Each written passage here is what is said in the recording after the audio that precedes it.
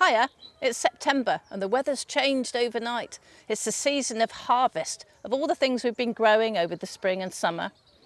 And gardening is about continuity, so this is also a month to sow things in the garden as well. There's a whole range of things you can grow for salads and for leafy winter vegetables. We can grow chicory, rocket, Swiss chard, spinach, endives, pak choi and winter lettuces and some frilly mustard I'm um, going to sow some endives, plastic recycled pots I got from a skip at the back of a garden centre. They always throw out their old pots and some of them are kind enough to let you go in and pick them up for free. So that's fantastic. Lollipop stick, doesn't cost a penny. Free dibber, always on hand. Make a little hole in each one. Get a few seeds.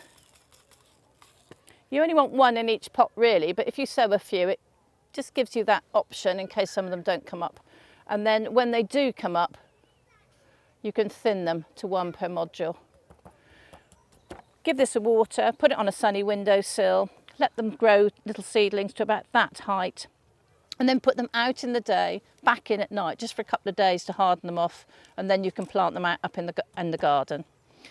Then here we've got a recycled pot, recycled tray, loo rolls, compost, dibber, make little holes in each one. And these seeds I saved myself.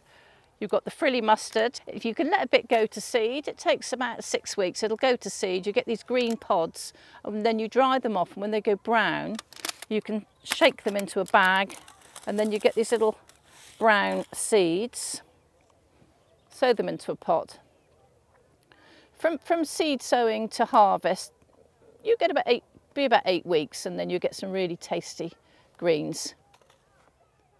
So there we have it, recycled trays, recycled containers, seed saved from last year, all free, free food all winter, can't be bad.